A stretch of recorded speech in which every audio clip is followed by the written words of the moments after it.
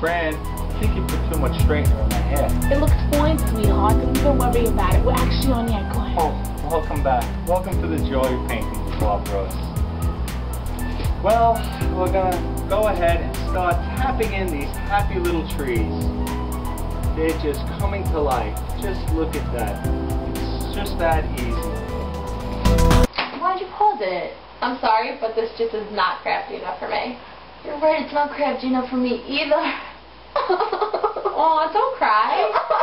no, seriously, you need to shut up. Because I have a way we can fix this. Just follow me into the TV. Where? Whoa. Where are we? That's Bob Ross. He's frozen. Quit being so dramatic. We gotta move him. Okay.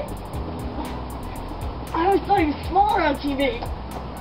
Now we can make this craftier. I'll grab the Drop crafty the drums. supplies. Yeah, man, now. I see you give this and I wanna boom like it's never been done. Busting moves that the click boom of a gun. In the marquee, in the bass is booming. Someone smoking boom at the back of the room. And it's the first day of boom and the flowers are blooming. Drum. Now that's crafty.